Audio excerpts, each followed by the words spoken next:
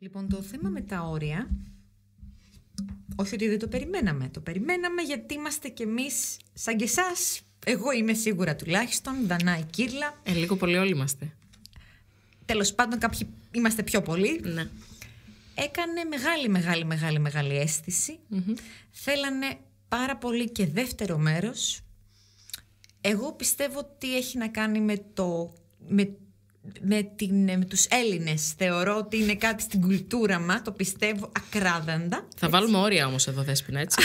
Δεύτερη εκπομπή και τελευταία. Ό,τι προλάβετε σωστό, ρωτήστε. Σωστό, σωστό. Τα όρια τα όρια πώς τα βάζουμε, τι γίνεται με τα όρια, τα πώς τα βάζουμε στις αδελφικές σχέσεις. Έχω κάνει και ένα απόλεχο να σας πω τώρα και σας έχω πει να στείλετε ερωτήσεις. Το λέω αυτό για να, να ακολουθήσουν και άλλοι που δεν ακολουθούν το Instagram.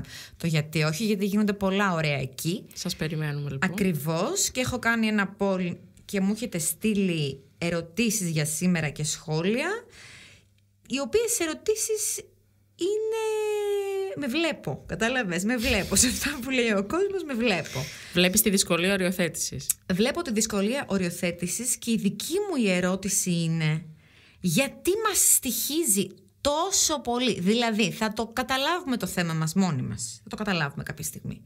Θα πάμε στο θεραπευτή, θα το δουλέψουμε και πάλι ε, είναι πολύ σημαντικό να βάζουμε ρεαλιστικούς στόχους. Όπως με όλους τους στόχους, έτσι και τα όρια όταν τα θέτουμε σαν ένα θεραπευτικό ζητούμενο, είναι σημαντικό να τα προσεγγίζουμε ε, με προσήλωση και με υπομονή. Δεν ξεκινάμε από τα μεγάλα όρια που κρίνουν σχέσεις και ελοχεύουν κινδύνους απώλειας. Ξεκινάμε από τα μικρά όρια της καθημερινότητας. Κατ' εμέ, αυτό δουλεύει γιατί μας δίνει την αυτοπεποίθηση να δούμε ότι είναι ακίνδυνο όταν γίνεται με ασφάλεια το να μπαίνουν όρια και γίνεται με ασφάλεια όταν είναι εξασκημένη δεξιότητα. Ναι. Ξεκινάω δηλαδή low για να μάθω να το χτίζω, να μάθω τι σημαίνει για να πάω μετά στα μεγάλα όρια. Έχω κάνει, έχω κρατήσει ατάκα που θα την έλεγα στο τέλος για σήμερα, αλλά επειδή μου δίνεις πάσα θα την πω τώρα και μου αρέσει πάρα πολύ αυτό που είπες. Λοιπόν, λέει, το να βάζεις όρια είναι σαν να τρέχεις μαραθώνιο χρειάζεται εξάσκηση και επιμονή. Ναι. Αυτό, άνω κάτω τελεία. Αυτογνωσία, αποφασιστικότητα, κουράγιο και επιμονή. Δηλαδή δεν είναι κάτι έβαλα εγώ το όρια σήμερα στη μάνα μου, τελειώσαμε. Με τίποτα. Κατάλαβες. Με τίποτα. Μην το συζητάς. Και αφού τα βάλω, πάλι χρειάζομαι κουράγιο για να Ναι. τα συντηρώ. Να τα υπενθυμίζω, να τα επαναφέρω. Γιατί θα γίνει ένα περιστατικό. Έγινε σήμερα. Θα γίνει όμως ένα περιστατικό αύριο. Τον άλλο μήνα. Με τη μάνα μου, με τον συναδελφό μου, με τον άντρα μου, με το παιδί μου, με την πεθερά μου, με τον κοτοπουλά μου. Τα φιλιά μας στη θεραπευόμενη με τον κοτοπουλά που έχει αλλάξει η ζωή της. και, και το ηχητικό εφέ που έβαλε ο Λευτέρης όμως ήταν το κάτι άλλο. Ήταν δηλαδή. καταπληκτικό. η, η κοπέλα πρέπει να σου πω ότι κλαίει ακόμα. Αλήθεια. Ναι, ναι, ναι. Τα φιλιά μας. Μπρα- μπράβο. Όχι μπράβο δηλαδή, να τα λέμε κι αυτά. Θα εισαγάγω και έναν υδραυλικό αν χρειαστεί. Ωραία. Μας στοιχίζει πάρα πολύ και βλέπω και από τις ερωτήσεις που έχουν έρθει. Τους στοιχίζει πάρα πολύ στις οικογενειακές σχέσεις. Εγώ είμαι από αυτούς που δυσκολεύομαι και στις επαγγελματικές και στις οικογενειακές. Δεν έχω θέματα. Ας μην εκτεθούμε. Δεν κάνω, δεν κάνω διακρίσεις. Και αυτό που έχει έρθει με διαφορετικό τρόπο διατυπωμένο, αλλά το ίδιο θέμα, ότι εγώ θα χάσω άνθρωπο που θα βάλω τα όρια. Ναι. Καταρχάς πρέπει να αξιολογήσουμε πώς αυτό είναι ε, ρεαλιστικό. Πολλές φορές είναι στο νου μας. Είναι Ναι, μια ναι, ε, ναι. προσδοκία κινδυνολογίας. Οπότε πρώτα να επιβεβαιώσουμε αν ισχύει κάτι τέτοιο. Δεν κρύβω βέβαια ότι ρεαλιστικά ισχύει. Μπορεί δηλαδή όντως κάποιοι άνθρωποι να μην αντέχουν το όριο αυτό που βάζουμε. Ναι. Όμως τελικά τι έχει σημασία; Μια σχέση που να έχει ποιότητα και που να νιώθω εαυτός μου ε, ή κάτι που να με περιορίζει, να με μπουκώνει, να με γεμίζει αρνητικά συναισθήματα ε, και τελικά ε, τι έχω να κερδίσω μόνο από την παρουσία κάποιου ανθρώπου. Ναι. Αυτό το βλέπουμε και σε περιπτώσεις ακραίες. Σκέψου μια κακοποίηση μέσα στην οικογένεια, που το ίδιο το άτομο που κακοποιείται φοβάται, ε, διστάζει για πάρα πολλά χρόνια ίσως ε, να καταγγείλει και όχι, δεν εννοώ στην αστυνομία, να καταγγείλει στον εαυτό του την κακοποίηση γιατί θα χάσει την οικογένεια. Θα χάσει την, την έννοια του στηρίγματος. Ναι. Και πόση σύγχυση αυτό μπορεί να προκαλεί. Τελικά όμως, τι σημαίνει αυτό; Ζω με τον κακοποιητή μου ενδεχόμενα Και η κακοποίηση, άμα είναι και ψυχολογική, δεν είναι σωματική δηλαδή. και στο τέλος θυματοποιούμε, δηλαδή ενσωματώνω αυτή τη, τη βία, την κάνω δική μου και νιώθω ότι αξίζω την οποιαδήποτε υποτίμηση. Αυτό είναι ένα ακραίο παράδειγμα μένα, αλλά μπορούμε να το σκεφτούμε και σε, με- σε πιο απλές καθημερινές περιστάσεις. Το ότι δεν οριοθετώ και συνεχίζω από φόβο να μην αποχωριστώ, να υπομένω συμπεριφορές που με προσβάλλουν, με υποτιμούν, μου δίνει το μήνυμα υποδόρια ότι αξίζω αυτή την υποτίμηση. Και τελικά Ναι, τι γίνεται. ναι, Πάμε ναι. σε άλλα θέματα, σε άλλα podcast, με χαμηλή αυτοπεποίθηση, με χαμηλή αυτοεκτίμηση, με πολλές καταστροφικές σκέψεις για τον εαυτό, με ενοχικότητα.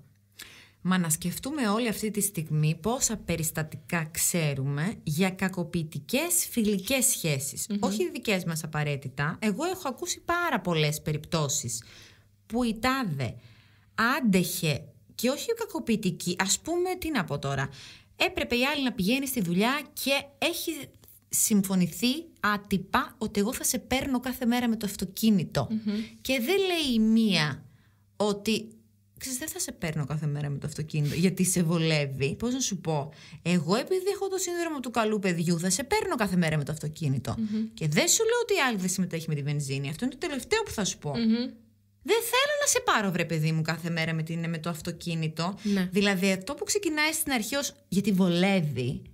Ναι, αλλά δεν γίνεται να παίρνεις κάθε μέρα κάποιον με το αυτοκίνητο. γιατί τι να κάνουμε τώρα; Ναι. Και γίνεται μια παγιωμένη κατάσταση τέτοια και μετά άντε εσύ να βάλεις το όριο σε κάτι που έχει παγιωθεί. Ναι. Εκεί τι κινδυνεύεις να χάσεις; Και λες, θα χάσω τη φίλη μου. Την κοινωνική σχέση που τη βλέπω, ας πούμε, και τη θέλω να υπάρχει στη ζωή μου. Ενώ όταν την παίρνω με το αυτοκίνητο και από μέσα μου βρίζω και καταργέμαι και Ναι, εύχομαι ναι, να έχει αρρωστήσει σήμερα για να μην χρειαστεί να την Ναι, πάρω. ναι, ναι. Αυτό είναι μια καλή κοινωνική σχέση που θέλω να κρατήσω; όχι, όχι, όχι, όχι. Γιατί αυτό ε, πρέπει να αναφερθεί ότι ε, εγκυμονεί επιθετικότητα, εγκυμονεί θυμό. Το όριο που δεν βάζω δεν σημαίνει ότι και αυτό είναι ανέξοδο. Δεν σημαίνει ότι α, απλά δεν το είπα και συνεχίζουμε, λαλαλαλα, η ζωή είναι ωραία. Δεν σημαίνει καθόλου αυτό. Σημαίνει ότι καταπίνω μια καταπίεση. Αυτή η καταπίεση έχει θυμό.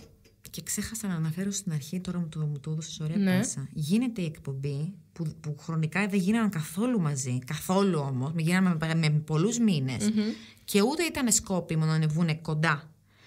Γίνεται η δικιά μας εκπομπή με τα όρια, που λες εσύ στο τέλος ότι πάρα πολλές ασθένειες δημιουργούνται με το να καταπίνουμε και στο, και στο καπάκι βγάζω την εκπομπή με τον κύριο Μπουκοβίνα, η οποία είναι μια απίθανη εκπομπή. Να την ακούσετε, να μην την αποφύγετε τον γιατί, καρκίνο. με τον καρκίνο, γιατί μου είπαν μερικοί ότι δεν Το μπορώ. φοβήθηκαν.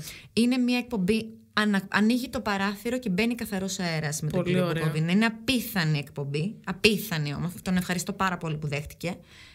Και αναφέρει ότι ένα κοινό που έχουν οι ασθενείς του είναι. Α, και αλλάζουν αυτό στη ζωή τους είναι τα όρια. Και αυτά που έχουν υποστεί λέγοντας συνέχεια ναι, ναι, ναι, ναι, ναι και γίνονται ασθένειοι, είναι καρκίνος. βέβαια. Και λέω κοίτα να δεις τώρα σύμπτωση που βγήκανε κοντά οι εκπομπές οι δύο. Ναι. Ε, Ότι αυτό θα Τι βγει- ειδικότητα είχε ο κύριος Μπουκοβίνας; Ογκολόγος, Ογκολόγος. ογκολόγος. Φέρει και έναν γαστρεντερολόγο.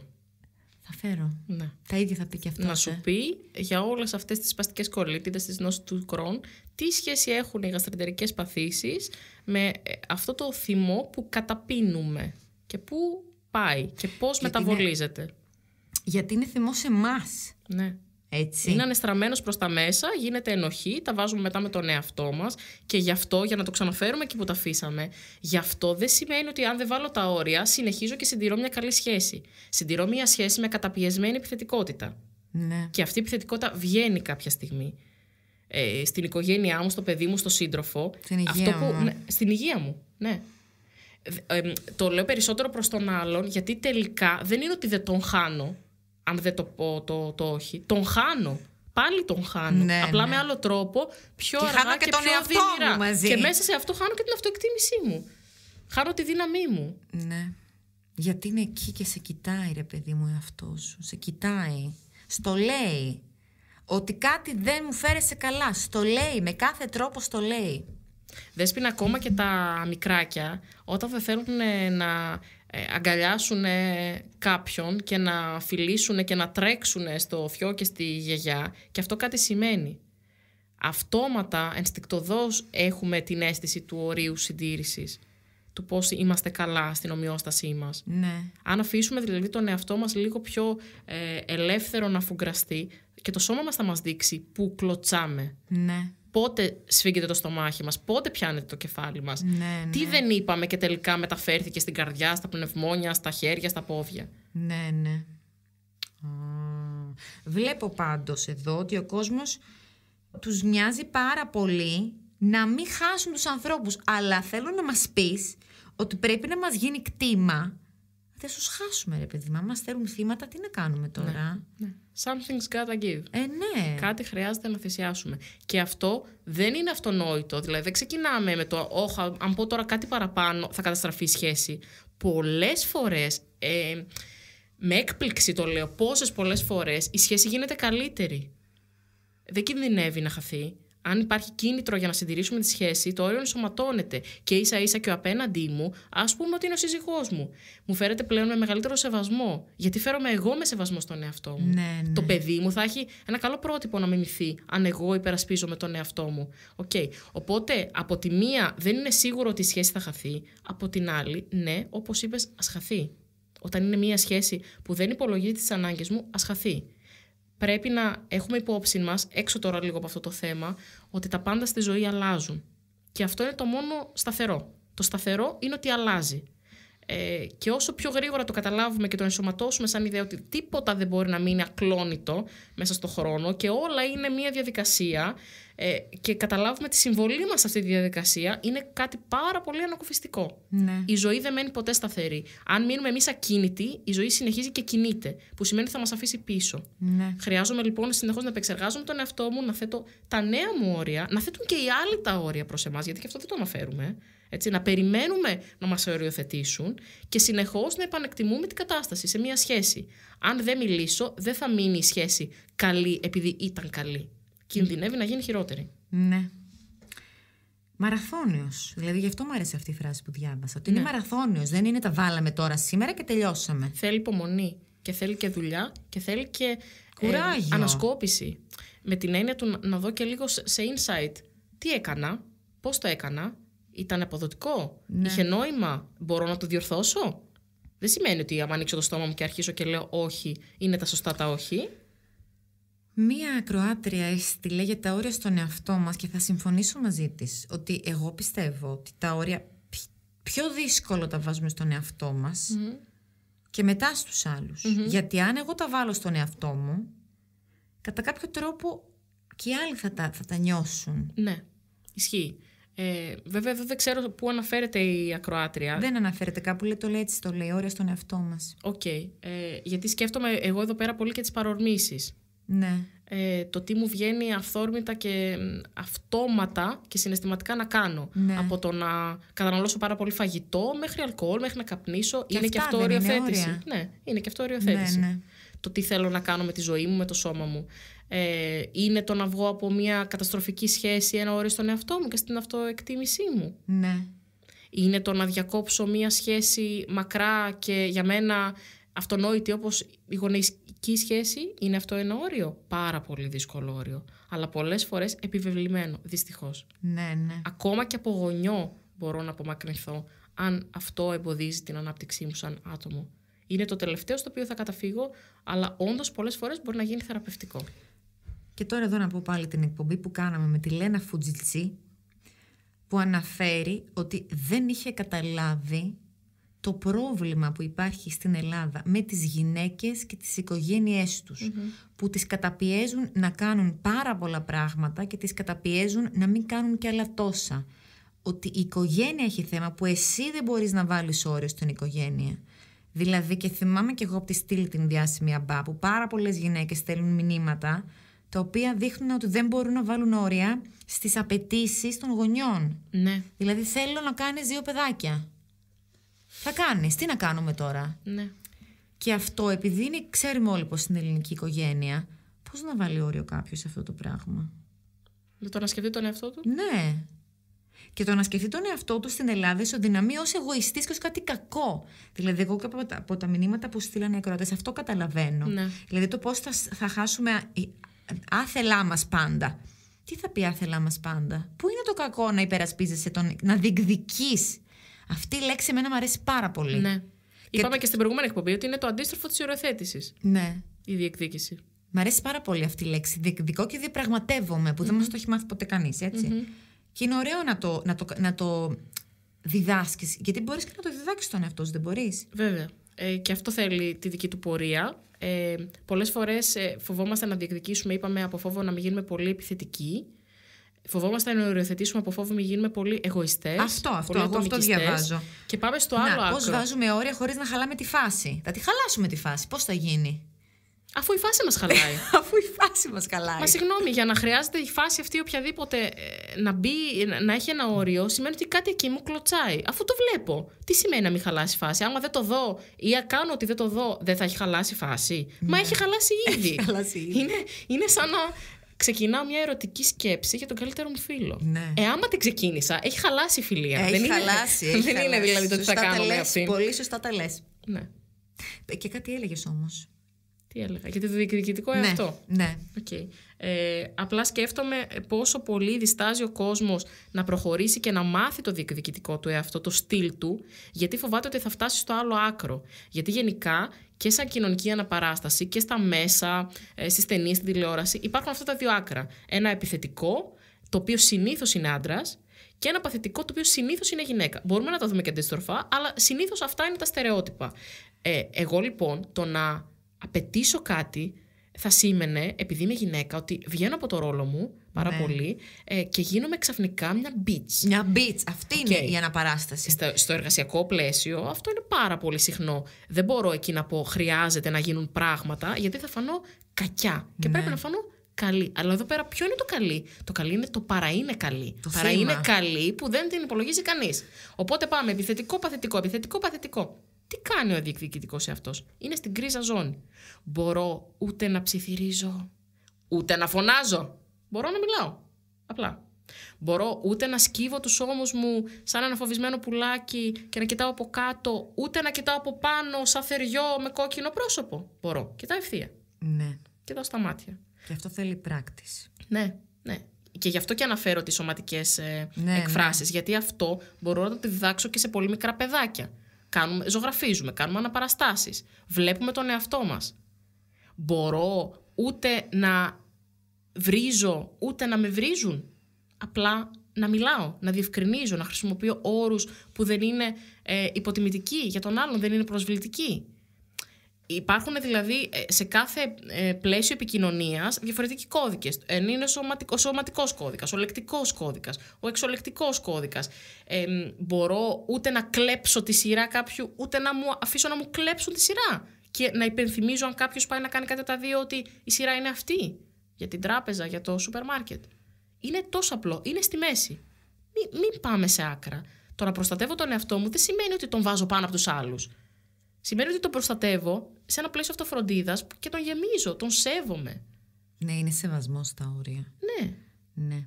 Και εγώ τις φορές που έχω, δηλαδή μου έχουν πάρει ας πούμε την, την, το ταξί και τις φορές που έχω υπερασπιστεί τον αχ, κύριε μου το ταξί, Θεέ μου. Όχι αυτό που είπα την προηγούμενη φορά, άλλη ιστορία. Είμαι τώρα στο τελόγλιο και, περι... και βγαίνω έξω και περιμένω το ταξί. Και εκείνη την ώρα που σταματάει το ταξί, συγχρονισμός με μια κυρία, με τα γέρ και λοιπά, και μπαίνει στο ταξι Και έχω πάθει σοκ. Ναι, ούτε που την έγιαξε. Ναι. Και λέω, συγγνώμη, εγώ ήμουνα. Και εμένα τι με νοιάζει μου απάντησε. Πάρ' το. Κατάλαβες; Ναι. Και έχω πάθει σοκ. Έχω πάθει, έχω πάθει. Ναι. Και, και για να πω, βέβαια, εγώ το. Ε, συγγνώμη, εγώ ήμουν. Δηλαδή, πραγματικά που έφτασα εκεί να το πω, φούντοσα έχω να πω. Ναι. Γιατί φούντοσα δεν καταλαβαίνω. Άρα σκεφτούμε τα όρια στο επάγγελμά μας. Αχ, βοήθεια έχω να πω. βοήθεια. Θα το πήγαινα στα αδέρφια τώρα, να πω και για το επάγγελμα. Τι σημαίνει αυτό; Τι σημαίνει για τον καθένα μας, για τον καθένα σας εκεί έξω, σέβομαι το επάγγελμα που κάνω; ε, πώς είναι εφικτό να υπερασπιστώ το ρόλο μου και να μην αφήσω να φορτωθώ επιπλέον ώρες, επιπλέον υπευθυνότητες, ε, να μην υποπληρωθώ, να μην παραγωνιστώ, να διεκδικήσω και εκεί τη θέση που μου αξίζει και την αναγνωρισιμότητα που μου αξίζει; Είναι κάτι πάρα πολύ δύσκολο και εδώ πέρα θα, θα επικαλεστώ το παράδειγμα που είπα πριν με τον ε, θεραπευόμενό μου, γλυκίδα το υδραυλικό και στην επαρχία κιόλας. Γιατί μου λένε πολλές φορές αναπάτηση, δεν γίνεται. Δεν γίνεται. Οι άνθρωποι έτσι είναι, οι πελάτες έτσι είναι. Έχω να κάνω με αυτό το συγκεκριμένο κοινό, με παππούδες, με επαρχία. Με... Γίνεται. Ε, αυτό που πήγα να πω είναι ότι από αυτόν είδα και έμαθα ότι αν ο πελάτης δεν μπορεί να συγχρονιστεί με το πώς δουλεύω εγώ, θα τον χάσω και ας τον χάσω καλύτερα. Να του το πω και από την αρχή. Δεν σε θέλω για πελάτη. Δεν σε θέλω για πελάτη. Αν με παίρνεις 12 η ώρα το βράδυ και δεν καταλαβαίνεις τι σου λέω και δεν με ακούς και δεν μπορούμε να προγραμματίσουμε και δεν με πληρώνεις και δεν, δεν σε θέλω εγώ. Εγώ δεν σε θέλω γιατί εγώ σέβομαι τη δουλειά μου και ξέρω ότι όταν θα έρθω να σου κάνω τη δουλειά θα είμαι ο καλύτερος που μπορώ. Το έχω σκεφτεί 100 φορές, το έχω σπουδάσει, το έχω δουλέψει, είμαι συγκεντρωμένος, θα προσπαθήσω να είμαι εγώ ξεκούραστος, να είμαι υγιής, να είμαι ε, εκεί για σένα και περιμένω και από σένα αυτή τη χή συμπεριφορά. Αυτό ισχύει για κάθε δουλειά. Αν δεν έχεις εσύ αυτή τη χή συμπεριφορά, δεν μπορούμε να συνεργαστούμε. Τόσο απλά. Αυτό στο ελεύθερο επάγγελμα. Όταν είναι κάποιος υπάλληλος, φαντάζομαι ότι έχει να, ε, να αντιμετωπίσει άλλου είδους προκλήσεις. Υπερορίες, απλήρωτες. Ναι. Και αυτονόητες. Και αυτονόητες. Ή τύπου, εγώ έχω παιδιά, θα φύγω πιο νωρίς εγώ δεν ξέρω εγώ εκείνο. Εγώ Μία που έχω φορά. παπαγάλο, τι ναι, ώρα να φύγω ακριβώς; Σωστό, σωστό, σωστό. Έτσι, ναι. σωστό όλα αυτά. Ναι. Μία φορά ναι. Δύο φορές ναι. Κάθε φορά όχι, Γιατί και ο άλλος π.χ. θέλει να κάνει παιδιά. Θέλει να βγει έξω. πρέπει να προλάβει. Ναι, πρέπει να προλάβει. Ή να φορτώνεται εργασίες άλλων. Ναι. Και για να μην χάσει τη δουλειά του θα πει ναι. Ναι. Ε, είναι και αυτό μια κοινωνική συνθήκη υπό τις οποίες την πίεση ζούμε, να μην χάσουμε τη δουλειά μας. Όμως ο φόβος δεν ευνοεί την ε, άνοδο. Δεν ευνοεί την άνθηση και την επαγγελματική άνθηση. Θα τη χάσουμε τη δουλειά μας αν πάμε σαν φοβισμένα πιόνια στη δουλειά και μας. Και πληρώνουμε και τον ψυχίατρο μετά και τον ψυχολόγο. και δεν θα βγαίνει άμα δεν έχουμε τη δουλειά μας. Ε, οπότε χρειάζεται και εκεί πέρα αυτοπεποίθηση και η αυτοπεποίθηση κερδίζεται μέσα από το σεβασμό στον εαυτό μας και μετά στους άλλους. Δεν χρειάζεται να είμαστε καυστικοί. Κάποια φορά θα λασκάρει ο διπλανό μας, ο διπλανός μας και κάποια φορά εμείς. Κάποια φορά θα φορτωθούμε και θα φύγουμε παραπάνω, κάποια φορά όμως όχι. Αν είμαι το σταθερό θύμα και το σταθερό πιόνι, αυτό είναι κάτι που δεν θα μου αποφέρει ούτε ασφάλεια, ούτε περισσότερη ευχαρίστηση από τη δουλειά. Θα φεύγω με αρνητικά συναισθήματα τα οποία μετά θα μεταφέρω στην οικογένειά μου, στις φιλικές μου σχέσεις, στη διασκέδασή μου, στο σώμα μου. Και αυτό αξίζει να το σκεφτούμε. Αυτό όμως όλο δεν πηγάζει από μια θέση αυτογνωσίας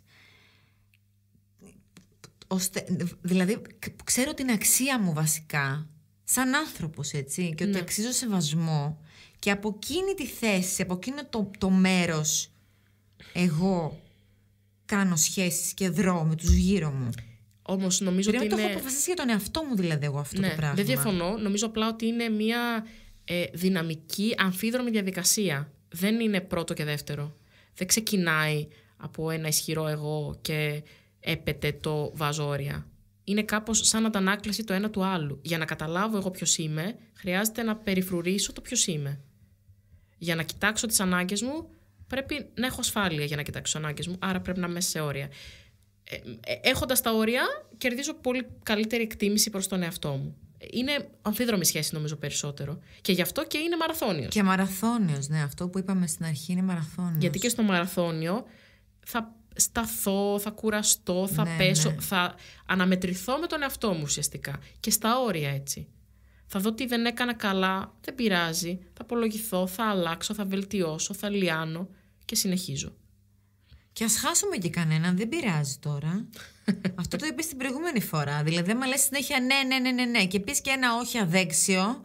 Ε, τι να κάνουμε ε, τώρα. Τι να κάνουμε, ναι. Άνθρωποι είμαστε. Ναι, ναι. Έχουν έρθει ερωτήσεις και για τα όρια στην οικογένεια. Στα αδέρφια έχουν επικεντρωθεί Εγώ να βάλω και το θέμα γονείς ή μαμά χωρίς όρια. Α, τα αγαπημένο γιατί μου. στην προηγούμενη φορά όταν κάναμε την εκπομπή και έκανα επίσης poll, μία κυρία έστειλε ότι η πεθερά νομίζω είπε, η πεθερά ναι, παίρνει πάντα τηλέφωνο λέει με FaceTime Μμμ. για να τσεκάρει το χώρο. Δηλαδή αυτό είναι μία μαμά χωρίς όρια, κατάλαβες; και το θέμα είναι ότι πρόκειται για τη Απίθανο. μαμά του άλλου, κατάλαβες. Πρέπει Πρέπει να βάλω όρια στον άλλον για να βάλει όρια στη μαμά του. Α, γεια σου. Αυτό δεν θα Χωρίς βάλω τα εγώ όρια. όρια. Στην πεθερά αυτό θα τη βάλει. Ναι. Καλά, άμα είναι να ζω με το άγχος τι θα δείξει η κάμερα, και εγώ θα βάλω όρια. Ε, σωστό και αυτό. Γιατί και αυτή είναι μια extended οικογένεια. Σωστό και αυτό, σωστό και αυτό. Ναι. Η, η Ελληνίδα μαμά γενικά, εκτός από τα Είναι πολύ μυθική, γλυκά μυθική- που έχει, μυθική έχει και φιγούρα. πάρα πολύ καταστροφικά ε, τέτοια στοιχεία. Και εγώ θα έλεγα και η ελληνική οικογένεια. Γιατί η ελληνική οικογένεια, μην ξεχνάμε ότι μέχρι πριν λίγα χρόνια ήταν η οικογένεια της ανοιχτής πόρτας στα κλειδιά απ' έξω. Ξέρουμε Στα χωριά είναι όλοι- κάπως έτσι. Όλοι οι παραδείγματα ξέρουμε τέτοια. Βέβαια. Ακόμα και τώρα. Δεν είναι στα χωριά. Δεν εγώ είναι ξέρω μόνο- και τώρα. Ναι, που σημαίνει οι γονείς έχουν άμεση πρόσβαση σε οποιαδήποτε προσωπική στιγμή ε, της οικογένειας. Ε, Εντελώς ανορίωτα ε, ακόμα και ε, τα σπίτια, οι χώροι. Οικογενειακή πολυκατοικία. Ακριβώς. Και όσο πιο πολύ τονίζεται το είμαστε μια δεμένη Ναι, οικογένεια, ναι, ναι, ναι.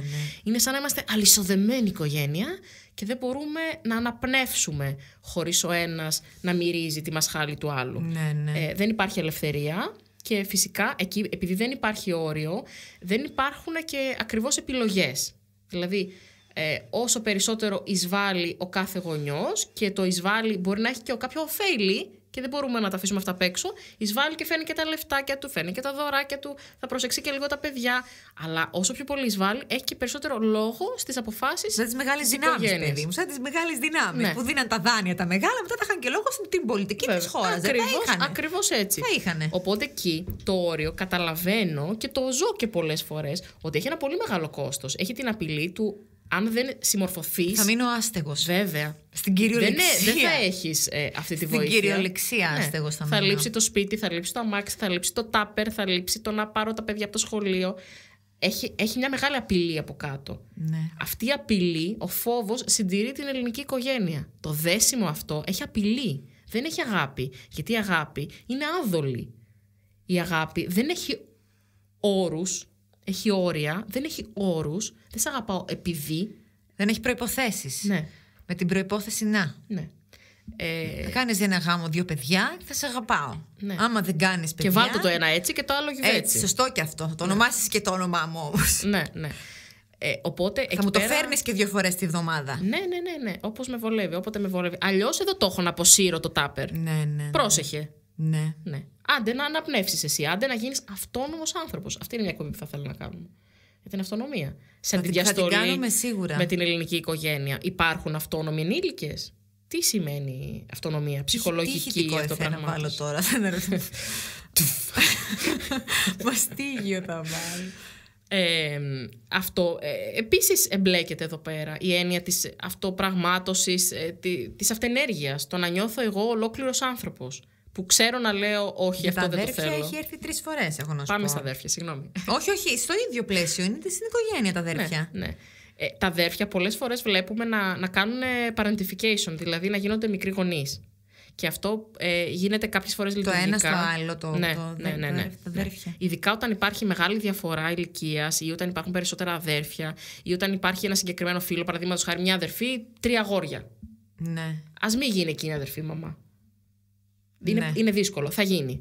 Θα γίνει μικρή μαμά. ναι. Ε, και αυτό έχει, ε, έχει πολλές επιπλοκές. Γιατί ταυτόχρονα οριοθετώ τον αδερφό, την αδερφή που είναι ουσιαστικά peer group, είναι στην ίδια κατηγορία με μένα, είναι διπλανός μου, είναι ισότιμος. Από την άλλη όμως ενέχει μέσα και στοιχεία γονεϊκότητας που με μπλοκάρουν ακόμα πιο πολύ. ναι. Εκεί λοιπόν έχουμε, για υπερεμπλεκό, έχουμε υπερεμπλεκόμενα αδέρφια τα οποία είναι φορτωμένα και τα ίδια μάλλον από την ευθύνη του να φροντίσουν. Αυτό παίζει πολύ στην ελληνική οικογένεια. Πολύ. Ναι. πολύ. Γιατί ο γονιός ό,τι δεν είναι δυνατός αρκετά να κάνει μόνος του, το μεταθέτει στα αδέρφια.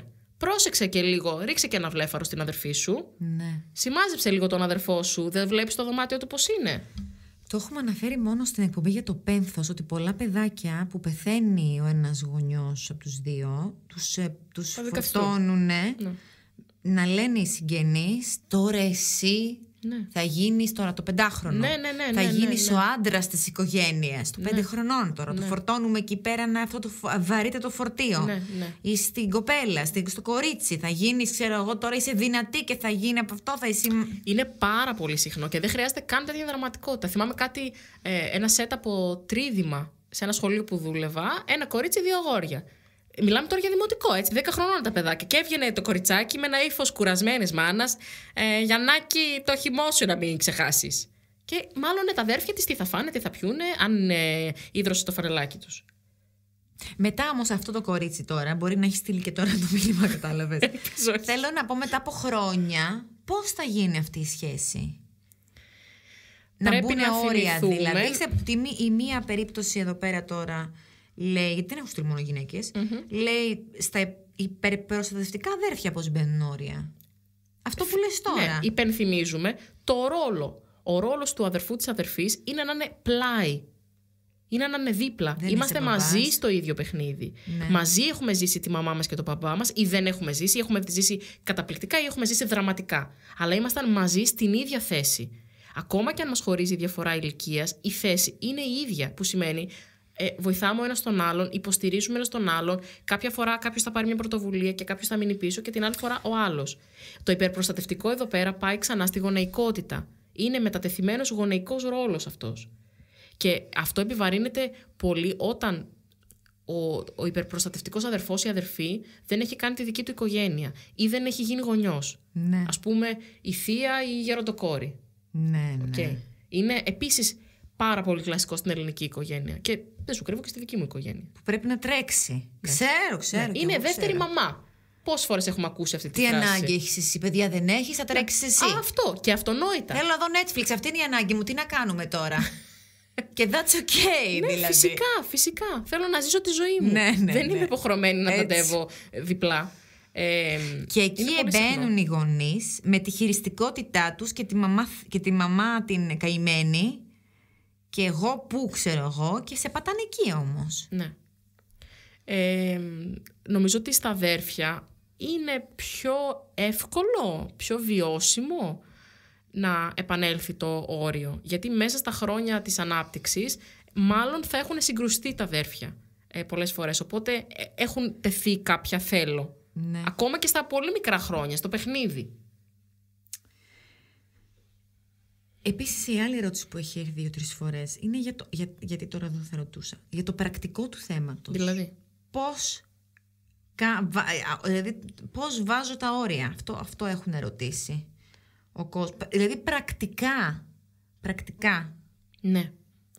Ε, νομίζω ότι κάπως έτσι το έχουμε σχολιάσει και στην προηγούμενη ε, εκπομπή, αλλά όπως και να έχει, είναι πολύ σημαντικό ε, να θυμόμαστε ότι χρειάζεται να εκφραζόμαστε με σαφήνεια, με ψυχραιμία, με λίγα λόγια αν γίνεται, γιατί ε, αυ- αυτό σημαίνει ότι αλλιώς θα χανόμασταν στα λόγια. Αυτός είναι ο μόνος λόγος που το λέω. Ναι.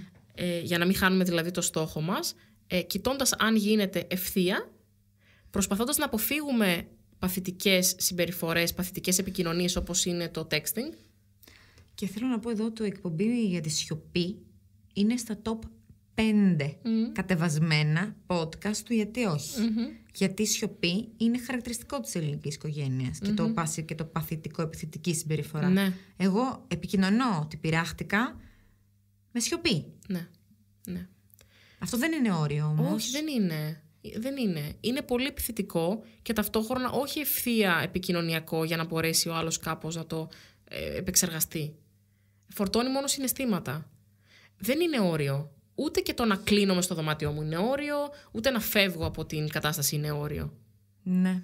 Ο- Ακόμα και αν τα κάνω αυτά, γιατί έτσι είναι μαθημένο σε μένα, μπορώ να επανέλθω και να διευκρινίσω. Ο λόγος είναι όριο. Δεν θέλω. Δεν μπορώ. Δεν γίνεται. Το λέμε με, με τα λόγια δηλαδή. Ναι, όπως το λέω. Αυτή δεν είναι μια κατάλληλη στιγμή. Αυτό είναι κάτι που δεν θα αναλάβω. Με, με σταθερή φωνή. Η Με φωνή σταθερή έχει φωνή. σημασία. Ναι. Οι λέξεις έχουν σημασία. ναι. Έχει σημασία το να νιώθουμε σταθεροί. Και να επικοινωνώ πώς ένιωσα εγώ Ναι. με αυτό που έγινε. Ναι. Δηλαδή, να πούμε ένα παράδειγμα με τα, δύο, με τα αδέρφια που μας είπαν το είναι υπερπροστατευτικά. Τι να σκεφτώ τώρα υπερπροστατευτικά, να πούμε ότι είναι ένα κορίτσι 19 χρονών και είναι ο μεγαλύτερος αδερφός συν δύο χρόνια. Τύπο που βγήκε, να πω. Τι να πω τώρα, ένα παράδειγμα. που παίρνει τηλέφωνο, έτσι, σε έχει πάρει τηλέφωνο που έχεις βγει εσύ σε πρώτο έτος ας πουμε και αρχίζει και φωνάζεις στο τηλέφωνο να πούμε. Χωρίς εσύ να προλάβεις να εξηγήσεις γιατί ενδεχομένως μπορεί να άργησες. Αρχίζει και ωραία, γίνεται και ένα σκηνικό που όλοι έχουμε εσεί τέτοια στη ζωή μας, είτε από τους γονείς μας, είτε δεν ξέρω εγώ τι. Εγώ πώς να επικοινωνήσω ότι αυτό το πράγμα με πνίγει που ναι. κάνεις; Για πες. Με τα λόγια που το λες. Αυτό το πράγμα που κάνεις. Την άλλη μέρα το πρωί. Όχι, εκείνη τη στιγμή. Εκείνη τη στιγμή. Ε, ορίεται ο άλλος στο τηλέφωνο. Και τι να κάνουμε που ορίεται; Τι να κάνουμε; Δεν χρειάζεται να μιλήσουμε με βάθος. Τι θέλεις αυτή τη στιγμή; Γιατί με καλείς; Είμαι έξω. Πού είσαι, Ναι, ναι, ναι, αυτό, αυτό, αυτό. Είμαι 19 χρονών. Μπορώ να είμαι που θέλω. Ναι. Δεν κινδυνεύω. Μπορείς να νιώσεις ασφαλής. Δεν χρειάζεται να κάνεις κάτι παραπάνω για μένα. Ε, θα επικοινωνήσουμε όταν θα είσαι σε μια πιο ήρεμη φάση. Δεν έχω να πω κάτι άλλο. Δεν έχω να απολογηθώ. Δεν έχω κάνει κάτι κακό σε κανέναν. Και είμαι ασφαλής. Και αυτό είναι όλο. Κλακ. Γεια σας. Αχ, τι ωραίο που το είπες. Πολύ ωραία το είπες. Έτσι με τέτοια ψυχραιμία, ε. έτσι θα το πούμε παιδιά. Ναι, θέλει, θέλει αυτό, σταθερότητα. Σταθερότητα και πίστη στο, στην πραγματικότητα, στο ρεαλισμό. Ότι ο άλλος θα το πάρει το μήνυμα τέλος πάντων. Είμαστε ενήλικες άνθρωποι. Ο άλλος θα ξαναπάρει και θα ουρλιάζει, αν είναι αυτός ο αδερφός.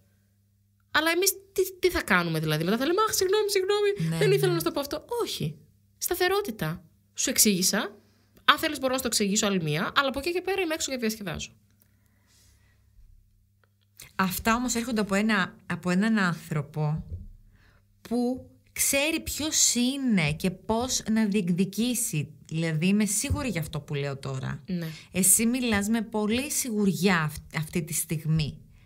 Εμείς δεν μπορούμε να βάλουμε όρια γιατί εκεί κάπου το χάνουμε. Δεν μιλάμε πολύ σιγουριά γιατί εγώ είμαι κανένας σούπερ ήρωα των ορίων και εγώ παλεύω καθημερινά και μέσα μου και έξω μου. Όχι, για το παράδειγμα λέω. Δεν λέω τώρα ναι. εσένα σαδανάη, πώς θα σου πω, να τα λέμε και όλοι για, για θεωρητικά. Πολύ ωραία ναι. τα λέμε όλοι. Αυτό, πολύ. Αυτό ακριβώς αυτό όμως θέλω να ακουστεί. Γιατί πολλές φορές και στη θεραπεία οι θεραπευόμενοι αυτοί μου λένε. Αυτό μου λένε. Α, εσύ είμαι σίγουρο ότι Όχι, το καταφέρεις πάρα πολύ μα, καλά. το έχω πει και σε εκπομπές εδώ πέρα, ειδικά για τα παιδιά. Δηλαδή ότι ακόμα και αυτή που έχει έδρα στο Χάρβαρντ έχει θέμα με τα παιδιά παιδιά τη ή επίσης ψυχολόγοι παίρνουν διαζύγια. δεν ξέρω αν το ξέρετε. Προφανώς, δεν το συζητώ. Αλλά θέλω να πω ότι όλοι δουλεύουμε τον εαυτό μας, όλοι έχουμε θέματα. Δεν είναι ότι είμαστε στο. Τα έχουμε κάνει όλα καταπληκτικά, μην ανησυχείτε. Ναι. Γι' αυτό και, και επιμένω στην εξάσκηση. Γι' αυτό και επιμένω στα, στα μικρά όρια πρώτα. Ξεκινάμε με μικρά όχι, με μικρά δεν θέλω, με μικρά δεν μπορώ. Ναι. Και επειδή ρωτάει και μία, μία Κροάτρια, πώς μπορώ να το καταλάβω ότι πρέπει να βάλω όρια, αφού το ξέρεις, το ξέρεις. Το, το ξέρεις μέσα. Ε, τώρα αυτή η ερώτηση είναι λίγο έτσι ναι, αυτονόητη. Ναι, το ξέρεις. Ναι. Πραγματικά το ξέρεις. Δεν υπάρχει κανένα κουδουνάκι που λέει τώρα πέρασε ο άλλος τα όρια. Όχι, όχι, όχι. Τι σημαίνει, το, μα το όριο. Γιατί χρησιμοποιούμε και τόσο πολύ αυτή τη λέξη που ίσως να παραφάρθηκε κιόλας.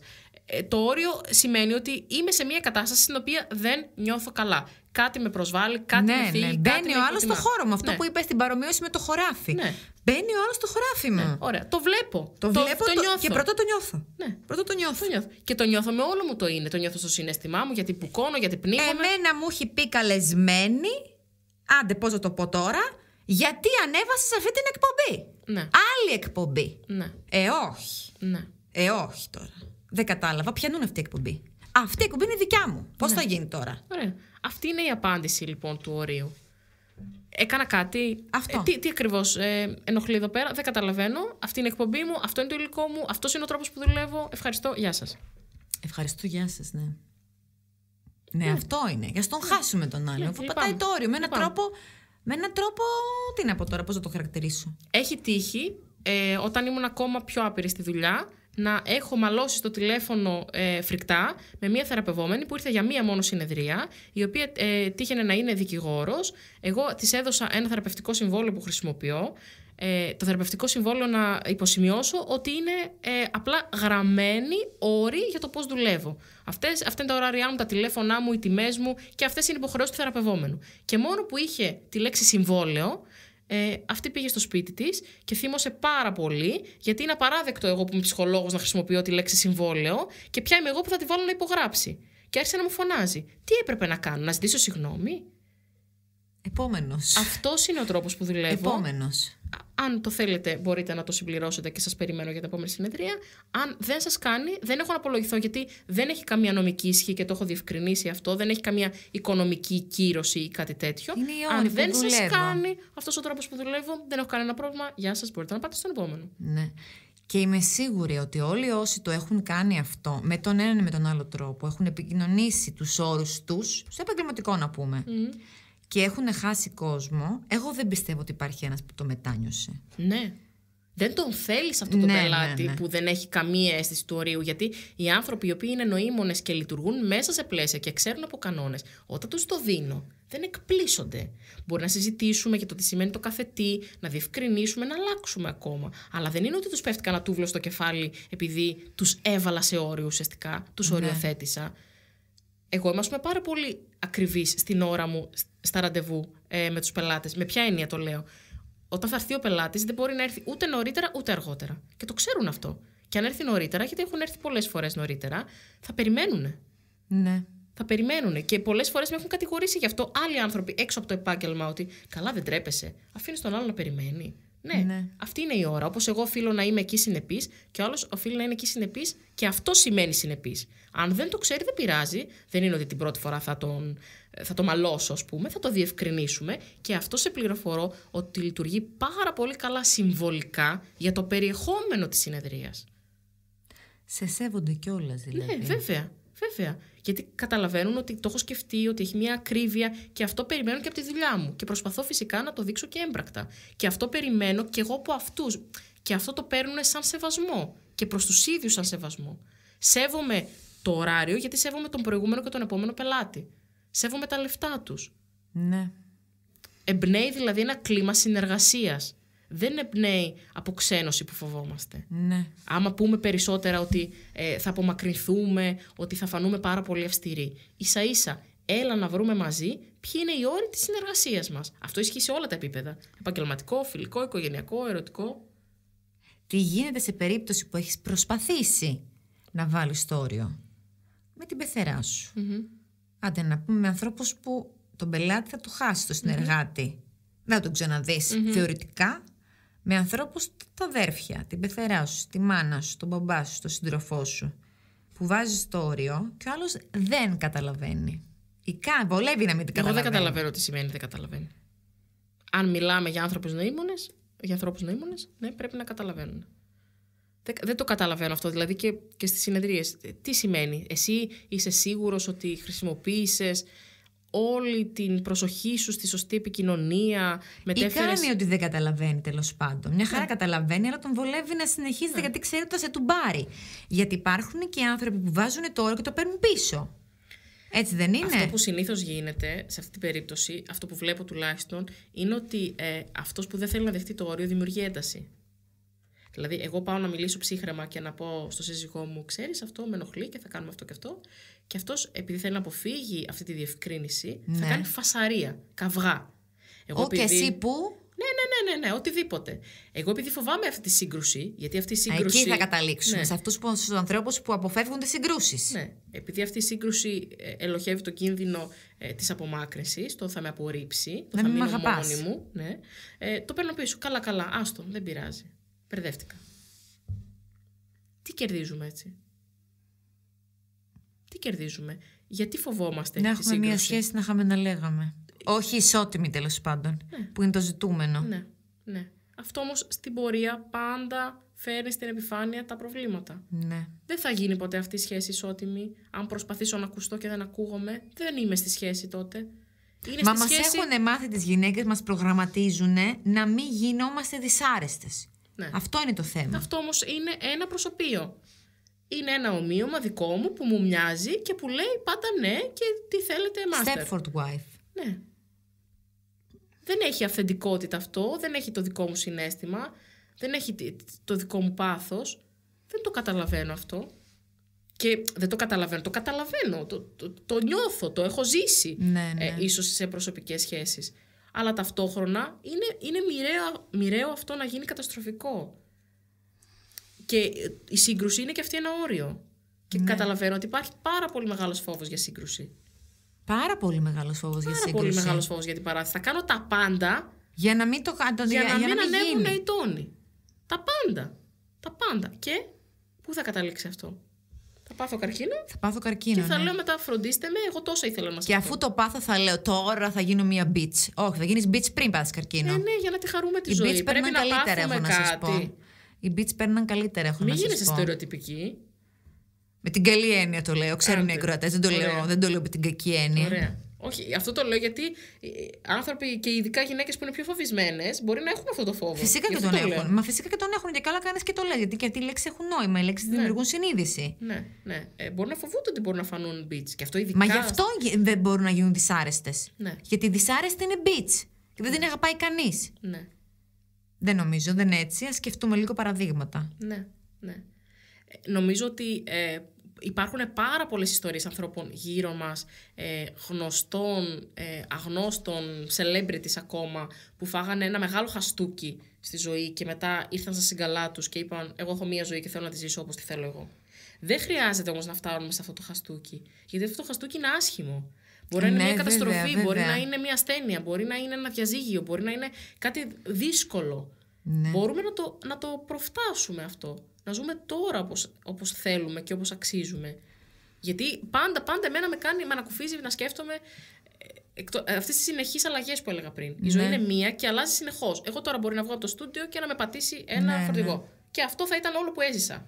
Πώς το έζησα; Είμαι ευχαριστημένη με αυτό που έζησα; Με αυτό που άφησα πίσω μου. Μπορούμε να σκεφτούμε έτσι ότι ανά πάσα στιγμή, αν εξαφανιστώ από τη ζωή, θα είχε νόημα αυτή η ζωή μου. Αχ, πολύ ταιριάζουμε σε αυτό. Εμένα ο θάνατος είναι πάρα πολύ motivation. Ε, βέβαια. Πάρα πολύ, Βέβαια. πάρα πολύ. Ναι. Ότι ξέρεις τι. Να πάρω αυτόν τον τηλέφωνο. Πού να πάρω τώρα, πώς θα πάρω. Παιδάκι μου, μπορεί να πεθάνει αύριο. Πάρ τον τηλέφωνο να τελειώνουμε ναι, τώρα. ναι, δηλαδή. Ναι, ναι. Πώς Δεν- θα γίνει; Δεν είναι καθόλου δραματικό γιατί είναι έτσι η ζωή. Ναι, έτσι είναι. Και θέλω να πω σε όλους εμάς που έχουμε θέμα με τα όρια, που είμαστε και πάρα πολύ δηλαδή, να το βλέπουμε, αυτό με το μαραθώνιο πολύ μ' άρεσε, σαν το, το εβδομαδιαίο μας task, γιατί οι, πώς να το πω, οι αφορμές, αφορμές να θέλεις, αφορμές να θέλεις, πραγματικά, από πού να το πιάσω, αν όχι καθημερινές, εβδομαδιαίες. Δηλαδή να το δούμε λίγο σαν, ε, να κάνουμε μια λίστα. Εξάσκηση, παιδάκια. Πώς Εξάσκηση. πάμε στο γυμναστήριο; Αυτό, αυτό, αυτό, Πώς εξάσκηση. πάμε στο γυμναστήριο; Θα κάνουμε ένα κλειστό group therapy στο facebook, θα γίνει χαμός. Ποιος έβαλε όρια, πώς και τα έβαλε όρια. Ναι, εξάσκηση, εξάσκηση. Δηλαδή να το δούμε λίγο έτσι. Και μ, βασικά να μην δρούμε από ένα μέρος φόβου. Αυτό, γιατί εγώ από αυτό, από τα μηνύματα που ήρθαν όλα, δια- ο φόβος διατρέχει τα μηνύματα. Δηλαδή, το οποίο είναι από τη φυλή, Και κατάλαβες; αυτό δεν είναι εύκολο να πεις μη φοβάσαι.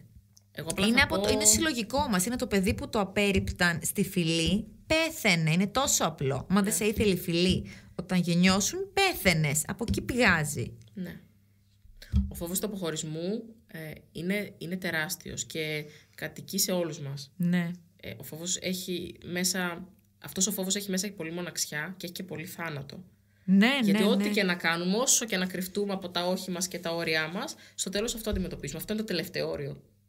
Ναι, ναι, είμαι σίγουρη. Οπότε ε, δείχνω πολύ σεβασμό σε αυτό το φόβο της μοναξιάς. Και γι' αυτό και τονίζω και τώρα και στην προηγούμενη εκπομπή ότι τελικά τι μένει; Για να δούμε την αντιδιαστολή από φόβο για τη μοναξιά. Ναι. Τελικά τι έχουμε; Αξίζει όντως αυτό που έχουμε; Γιατί παιδιά αν αξίζει πάω πάσο. Πιο μόνοι είμαστε. Αλλά ναι, Πιο τελικά μόνοι εκεί είμαστε. καταλήγει. Εκεί καταλήγει. Γιατί το βράδυ, είτε είσαι σε σχέση, είτε είσαι, είτε είσαι single, είτε είσαι παντρεμένος τέλος πάντων, μόνος σου κοιμάσαι. Με το κεφάλι, με τον εγκέφαλό σου δηλαδή. Εκεί πέρα μέσα κάνει πάρτι. Κάνει πάρτι ο εαυτός σου και ζητάει τα ρέστα. Και με τη συνείδησή σου. Ναι. Να πω και κάτι άλλο. Θα που πεις μου και ήρθε τώρα κάτι. σαν, σαν παράδειγμα. Ε, δείτε και τους ανθρώπους στην τρίτη ηλικία που πάντα εμπνέομαι και παίρνω παράδειγμα. Με Πώς, τα regrets που έχουν. πώς το αντίθετο. Πολλές φορές βλέπεις γιαγιάδες. Επειδή οι άντρες φεύγουν και πρώτοι. Ναι. Ε, που μετά από 700 χρόνια, εκεί που περίμενες ότι θα φύγει ο άντρας από τη ζωή και θα τα βάψουν μαύρα, αναγεννιούνται. Ναι. Εγώ ξέρω τέτοια παραδείγματα. Αλήθεια. Ναι, φυσικά. Ξαναγεννήθηκα. Ναι, γιατί τόσα χρόνια δεν, δεν μπορούσαν να τα πούν λόγω συστήματος αυτά που ενοχλούσαν, αυτά τα όχι και ανακουφίστηκαν με κάποιο τρόπο από το θάνατο. Ξαλάφρωσαν και θέλουν, και, και θέλουν να πνεύσουν, θέλουν να γελάσουν, θέλουν να κάνουν πράγματα ε, αυτόνομα. Και περίμεναν το θάνατο. Πω, πω, παιδιά, να μην φτάσουμε εκεί πέρα τώρα, πραγματικά. Ναι. Τα όρια είναι ένας... Το well-being μας περνάει μέσα από εκεί, τέλος πάντων. Κάποιος που δεν έχει όρια, δεν ξέρω πώς την παλεύει. Από θέμα well-being, τέλος πάντων. Καθόλου, δεν ξέρω. Δεν νομίζω και πολύ καλά κιόλας. Ή τα έχει κάνει τόσο εσωτερικά όλα αυτά, δεν, δεν ξέρω πώς, πώς αντέχει. Μετά περιφρορούμε, τέλος πάντων, και είμαστε alert, είμαστε... Επαγρυπνούμε, τέλος πάντων, γιατί είναι εκεί πέρα, γιατί ο κόσμος ζητάει. Τα παιδιά σου ζητάνε, ο άντρας σου ζητάει, οι συνάδελφοι ζητάνε, οι πελάτες ζητάνε. Όλοι Ο ζητάνε. χρόνος τρέχει. Ο χρόνος τρέχει. Όλοι ζητάνε. Συνέχεια. Έτσι είναι η ζωή σε, σε όλους τους ανθρώπους ζητάνε. Εμείς όμως πρέπει να βάλουμε το όριο. Ναι, γιατί δεν γίνεται αλλιώς. Αυτό, ας πούμε, είναι ένα δικό μου challenge καθημερινό. Γι' αυτό ανέφερα το χρόνο. Γιατί ε, είναι στο επάγγελμά μου να, να δίνω, να φροντίζω. Ταυτόχρονα έχω και τους δικούς μου ανθρώπους που ζητάνε και νιώθω συνεχώς ότι με διεκδικούν άνθρωποι το χρόνο μου, την ενέργειά μου, το συνέστημά μου, το μυαλό μου. Δεν χωράει. Τόσο απλά. Δεν χωράει. Ναι, θα οριοθετήσω τους πελάτες μου με τον επαγγελματικό τρόπο. Θα οριοθετήσω τη μαμά μου όταν με παίρνει τηλέφωνο και θέλει να μου πει τα δικά της με τον δικό μου τρόπο. Τον πιο προσωπικό. Γιατί απλά δεν γίνεται. Δεν βγαίνει. Έχω μία μέρα, είναι αυτές οι ώρες, Ναι, είναι ναι. αυτό το μυαλό, είναι αυτή η συγκέντρωση. Αν τα ξοδέψω όλα, δεν έχω άλλα. Δεν μένει τίποτα για μένα. Ναι. Μετά θα, θα, θα είμαι ο άνθρωπος, εγώ τώρα μιλάω στο Δανάη, που θα σηκώνομαι και θα βρίζω όλο τον κόσμο. Έκανα εγώ αυτό το επάγγελμα να, που αγαπάω όλο τον κόσμο για να βρίζω όλο τον κόσμο. Που είμαι σίγουρη ότι το έχει συμβεί στο παρελθόν. Έτσι. Ναι, και, βέβαια. και έχει συμβεί και το βλέπεις Ναι, τώρα. Α ναι, το ναι. πάρω αλλιώς τώρα, γιατί δεν, Ναι, δεν, δεν γίνεται. Ναι, από ανάγκη δηλαδή φτάνεις εκεί. Δεν The θέλω hard να way, the ακούγεται hard ότι ναι, είναι ξυπνάδα. Στο Από δρόμο του, ανάγκη του φτάνεις. διαφωτισμού έχει φτάσει, ξέρεις. Πολύ ωραία, όλα μια χαρά, τα έχω κάνει όλα. Ναι, και ναι, θα- παιδιά, εγώ, εγώ μόνο όχι έλεγα και σας παρακαλώ θέλω να προστατεύσω το well-being μου. Ναι, ναι, Καμία ναι. σχέση. Το τσαλαπάτησα το well-being μου. Έχω πάθει δύο φορές υπερκόπωση ήδη σε αυτά τα χρόνια ε, που δουλεύω με φρικτό τρόπο ε, και κατάλαβα ότι δεν γίνεται αλλιώς. Ναι. Δεν γίνεται. Πρέπει όλοι να πούνε: OK, stop. Τώρα, εδώ, αυτή τη στιγμή δεν μπορώ να σε εξυπηρετήσω. Δεν πάω να είσαι η μάνα μου, δεν πάω να είσαι ο πάπας, δεν πάω να είσαι ο πελάτης. Δεν μπορώ. Δεν βγαίνει. Μάνα μου. Ναι, ναι, ναι. Δεν βγαίνει, δεν βγαίνει. Θα τα σεβαστούν και όποιος δεν, τα σε, δεν τα, θα τα σεβαστεί, να στον χάσουμε, είπαμε. Ναι. Ωραία τα είπαμε σήμερα. Έτσι νομίζω κι εγώ. Πραγματικά. Είχε. Είχε, είχε και, έχω- και με Χώρο. τις, με τις ερωτήσεις των ακροατών. Μια Σας χαρά. ευχαριστούμε Ευχαριστ- πολύ. Πάρα πολύ ευχαριστούμε. Ωραία εκπομπή ήταν. Τα όρια και, καίνε. Και είναι νομίζω παρήγορο ότι είμαστε όλοι σε αυτό, παιδιά. Όλοι. Όλοι σε αυτό και προσπαθούμε κάθε μέρα. Είναι μαραθώνιος. Θα το τουιτάρω αυτό. Πολύ μ' άρεσε. Ναι, Το... να πω κάτι τελευταίο. Να πεις. Να τα κάνουμε όμως, παιδιά. Ε.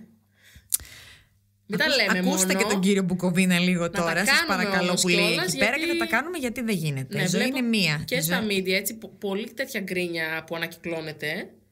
Και αυτό δεν βγάζει κάπου.